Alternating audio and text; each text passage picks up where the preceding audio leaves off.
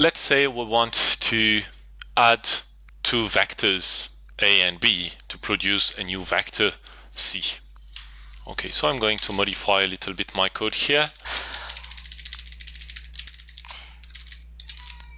Okay, and I have C an array of 12 which is empty.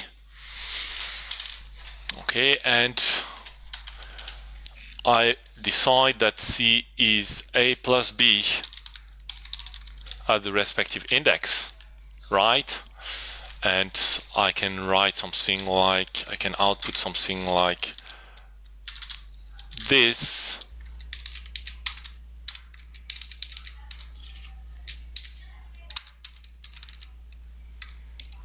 Okay.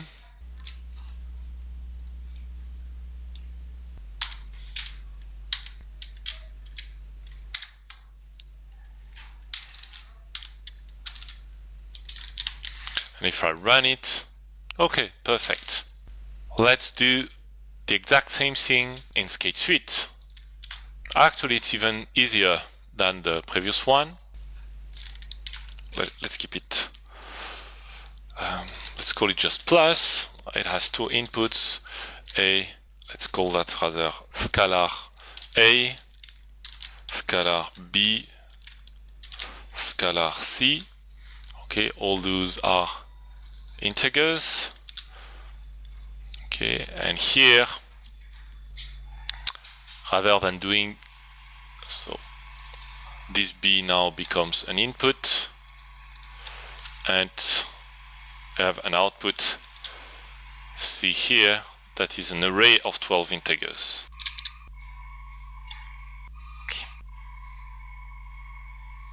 So I remove this part and I'm going to use this plus operator, right? So I can use the same map iterator.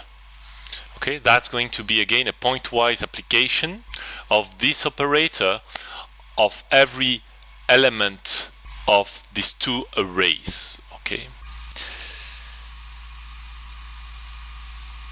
So we see that these two arrays, oh, they should be of the same size. So now they are of the same size.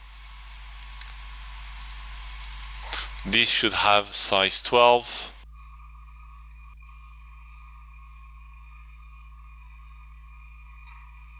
And here I need to do my implementation.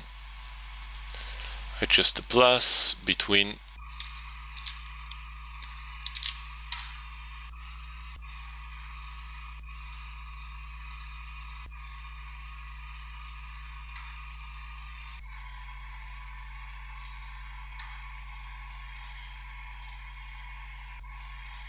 Okay, so if I check it, it's good.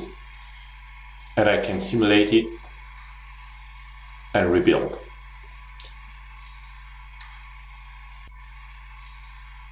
Okay, so let's take some values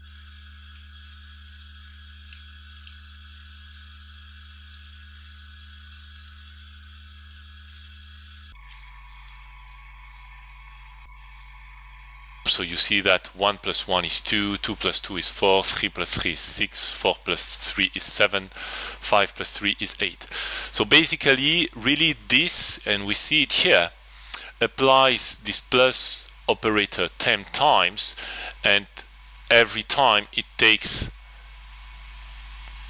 its two inputs. So if here I'm on the first index, so index 0, first element, it takes 1 and 1 from here and adds them and produces the 2 that we see here. On this iteration, it takes 2 plus 2 and produces 4. That's exactly what we see here.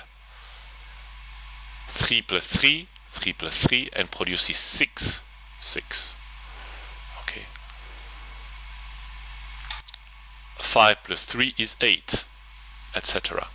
Okay, so the number of inputs of the map iterator is three. Okay, the number of outputs also, by the way, but they need to all have exactly the same size,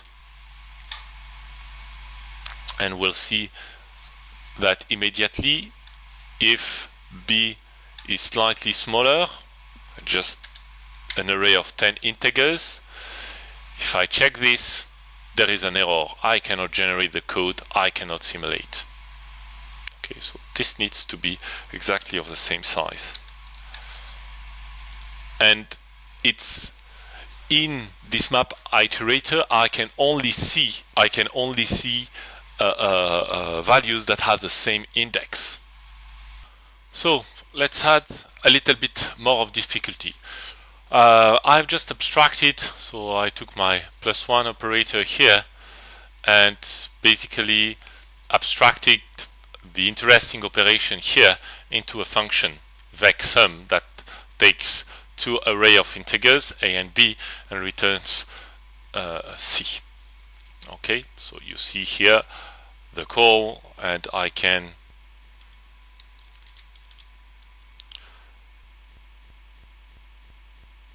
I can build it and execute it and okay we still have the same behavior so let's add uh, something new let's say I want to also add uh, to each element a constant k, an integer k. So let's put it here, int k, and in C I would just add plus k, and in my call here, let's say I want to add um, minus 1. Okay, so if I save this and rebuild it and execute it, oh, obviously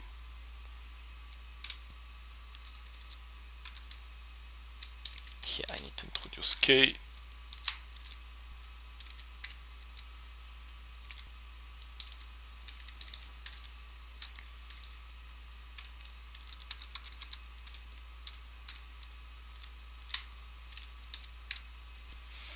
Okay, and so if I execute it, that's fine.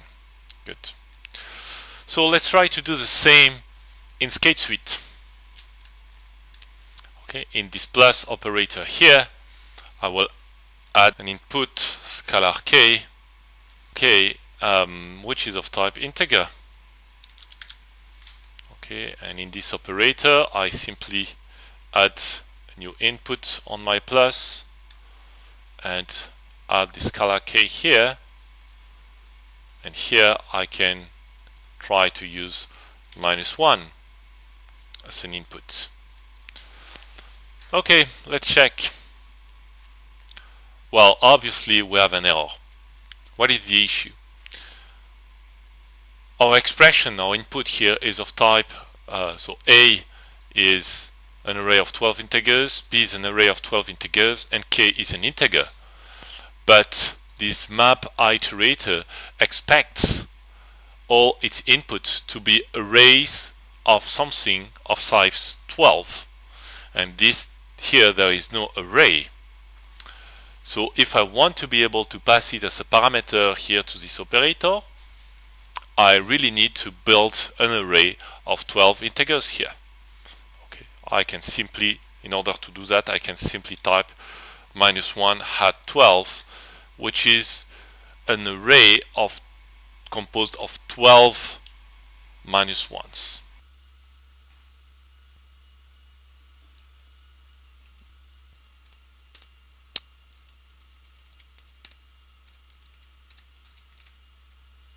Okay, and we see the editor that tells us that this is fine. This is an array of 12 integers, so if I do my check, it's good. Okay, I can simulate it and see the same result.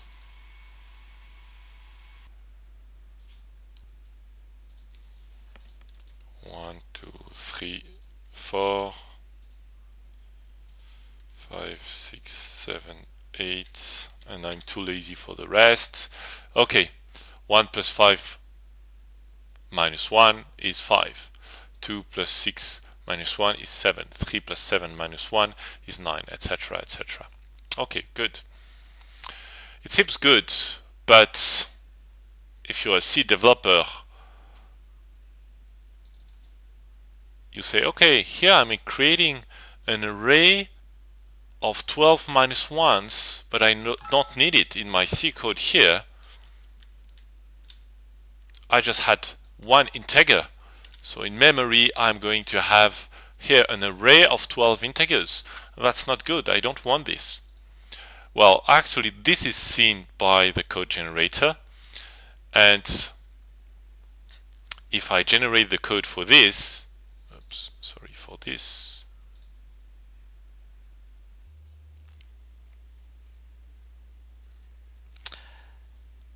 You see that this TMP here is minus one and there is no array creation here. Okay, this is optimized by the code generator. It recognizes the fact that on this map iterator, okay, one of its input is the same thing replicated 12 times and times, right? So it will not do the replication, it can just take this value and propagate it directly into the map iterator.